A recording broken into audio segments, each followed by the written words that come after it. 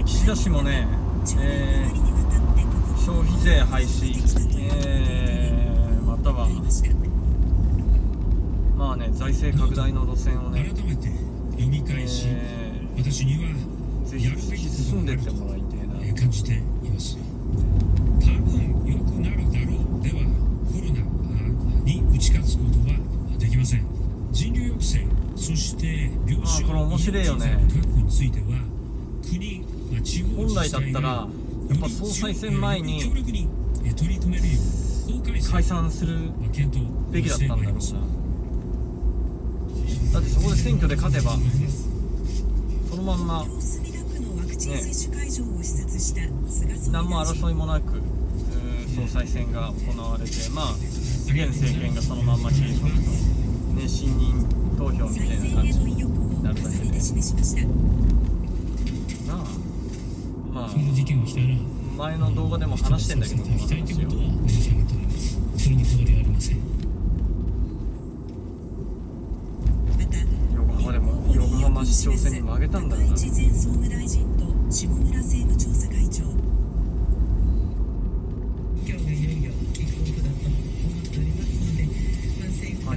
してるけど、ね、この人はいかに20年20人をね確保できるかが問題ないな。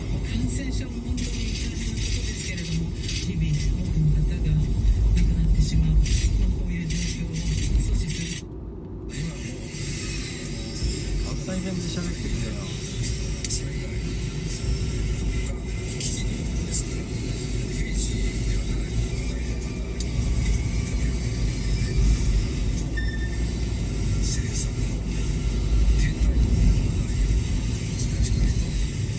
それにしても党三役は幹事長が絶大な選権力握ってんだなっ3て年ぶりに党員投票が行われます、国会議員票と合わせて有効票の過半数を得た候補者が当選となります。感染状況やコロナ対策を踏まえて100万人以上の党員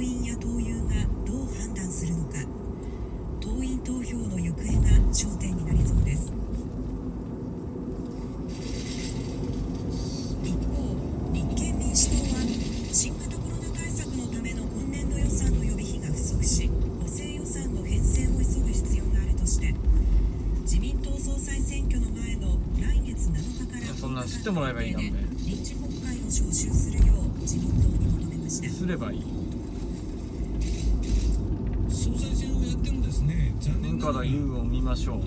自宅で療養している方々を誰一人助けることはできません。えしかし国会を開けば財源を枯渇しているところに手当もできる。えー夏休みが明ける今の時期。子どもたちの命を守る取り組みが求められています70人。今年7月までに自ら命を絶たざるを得なかった児童や生徒の自殺の話年間で最も多くなった去年の同じ時期を上回っています。その背景として指摘されているのが新型コロナウイルスの影響です。子どもたちの SOS をどう察知し手を差し伸べていくかが課題になっています。コロナのせいってことはお前らのせいだろ。マスコミのせい昨夜だろオンライン上に集まった小学生から10代後半の子どもたち。ここは雨降ってね。えな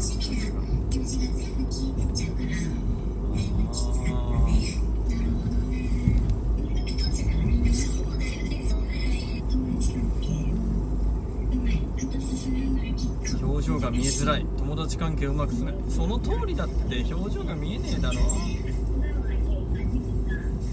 どうやってリレーションシップ友情を育むんだって俺はもうねもうずっと前から言ってるね。受けている本当に。NPO 法人24時間365日の体制で、ねやっぱこれがテレビの寄せられる相談に対応して手法なんだって。月ごとの相談件数本当のことを流す。コロナ前の1.5でまた嘘を流す。倍から2倍ほどに増加。でまた本当のことを流す。嘘を流す。繰り返してると本当になるこれまで問題を抱えていなかった子どもからも幅広く相談が寄せられているということです。事実とかそんなのどうでもいいわけだ収入が減っていく。えそうするとこう外にも出られなくて夫婦喧嘩が増